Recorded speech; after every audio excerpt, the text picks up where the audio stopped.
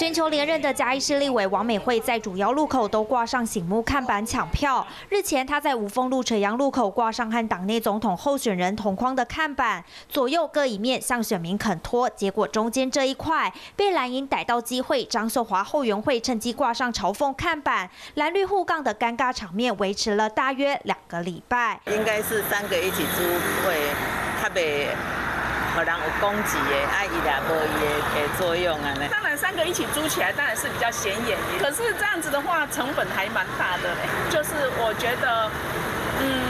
不要这样互相攻击啦！不少民众看到后都笑称王美惠没成功抢下三面看板，实在 anky。但在十二号这天却被发现王美惠阵营动起来，两边全换上新的看板，跟写上抹黑造谣，夹击回应。他更以文字表示嘉义是民主圣地，要对手尊重这场选举。我想没有抹黑，也没有造谣，因为这个数据是审计部公布的。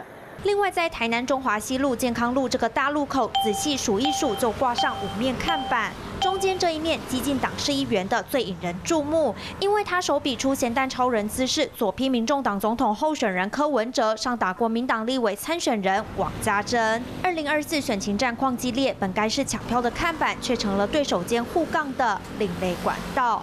华新闻陈建邦、刘汉生嘉义台南综合报道。Hello，我是李明瑞。想要抢先掌握最及时的新闻资讯吗？赶快订阅、按赞、开启小铃铛，锁定我们华视新闻的 YouTube 频道。